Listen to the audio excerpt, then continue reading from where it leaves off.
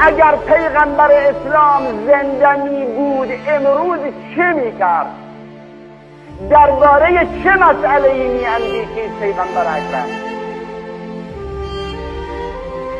والله و بالله ما در برابر این قضیه مسئولیم. مسئولیت داریم به خدا قسم مسئولیت داریم. به خدا قسم ما غافل هستیم. والله قضیه ای که دل پیغمبر اکرم رو امروز خون کرده است این قضیه است.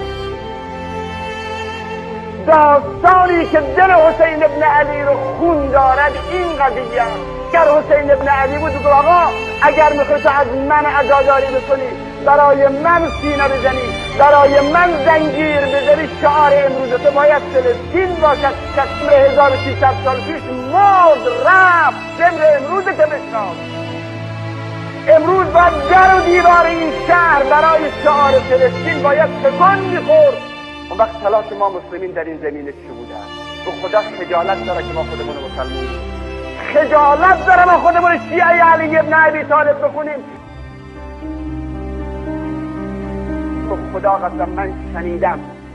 دشمن چنین اهانتی کرده است. آمده سرزمین مسلمین رو غارت کرده است. مردانشون رو کشته است اسیر کرده است. متعرض زنان اونها شده است. زیورها را از گوش زنها از دست زنهای اونها جدا کرده است. بعد همین علی ابن عبی طالب که ما اظهارش تشیعش می‌کنیم و یه حساسیت بیمعنی و دروغی نشون میدیم. یک مرد مسلمان با شنیدن این خبر دق کند و بمیرد سزاوار است مورد ملامت. آیا اینها مسلمان نیستن؟ اونها عزیزان ندارن.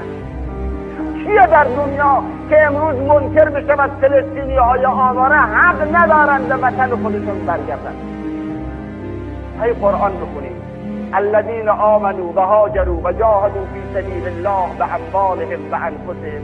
بابا به مال کی می‌تونیم کمک بکنیم